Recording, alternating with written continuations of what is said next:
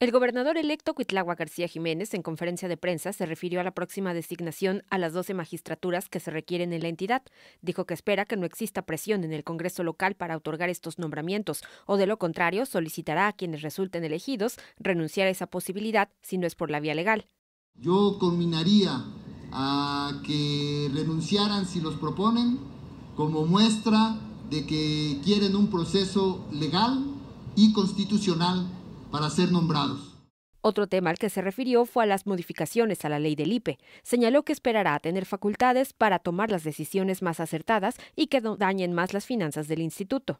Lo podemos resolver ampliando la base que cotiza al IPE y de esta manera ir subsanando. Pero recuerden que no debemos ser irresponsables.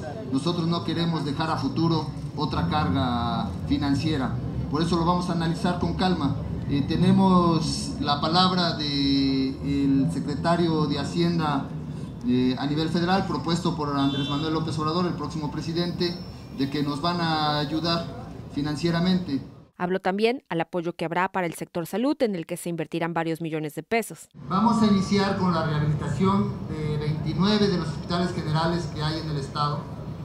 Con los primeros 29 vamos a iniciar a través de un programa integral para elevar la infraestructura, la capacidad de atención, tanto de primer nivel como de segundo nivel de esos hospitales.